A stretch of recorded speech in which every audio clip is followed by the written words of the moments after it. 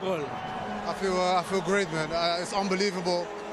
Uh, I get the ball from Bacuna and I, I don't think I, I, just shoot and the ball uh, ball goes in, man. And when you saw the ball inside, what do you have in your imagination? I don't know, man. I, unbelievable, unbelievable feeling.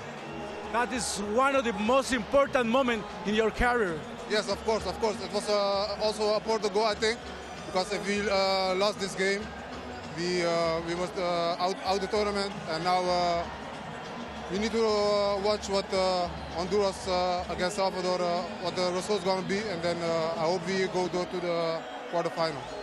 After three match, I think everybody like what Curaçao do in this tournament. Sorry, sorry. Everybody likes what Curaçao do in this tournament after the three match.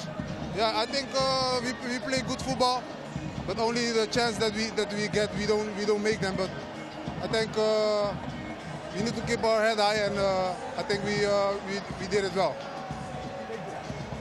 You're welcome.